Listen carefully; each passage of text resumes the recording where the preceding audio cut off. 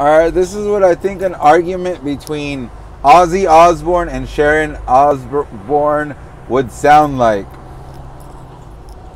Shelly! I can't see my freaking eyes, Shelly! Good, Ozzy! You've attacked me like three or four times. I'm glad you can't see. Fucking bitch! I'm going back to the cocaine and whores!